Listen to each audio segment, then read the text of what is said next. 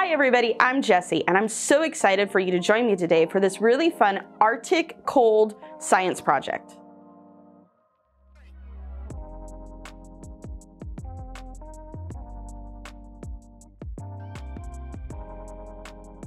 So for today's project, we're gonna pretend that we're Arctic animals and I'm gonna show you how they survive out in the cold weather. So the first thing we need to do is we need to take our big bowl and we're gonna fill it up with some ice cold water.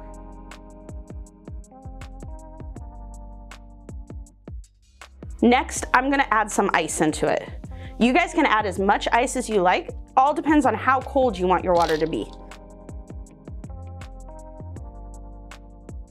Next, we're gonna take the shortening. So shortening is actually a baking ingredient used to add flavoring and fat to baking projects.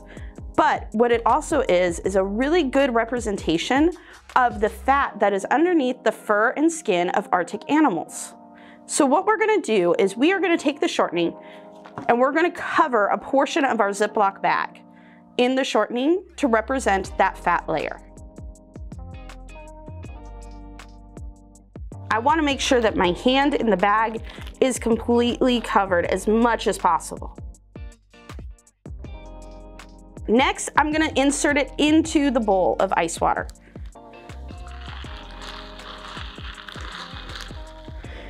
All right, gonna keep my hand in there for a couple seconds.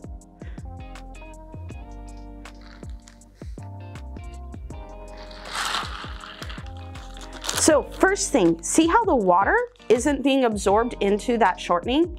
It's just like that fat layer. When the water, the ice water hits their fur and stuff, it is repelled off by the oils in the fat. When I put my hand in, that Shortening creates a nice layer of protection and my hand isn't even cold. I know that there's cold water there because I can see it, but my hand's not cold at all. So just like the polar bears and the penguins that live in the really cold Arctic environment, their inside temperature is protected by that fat layer. You can keep adding to it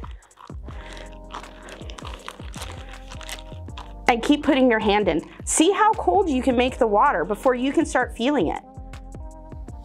I hope you guys enjoyed this project and I hope it helped you learn a little bit more about how the Arctic animals survive. Until next time guys, bye!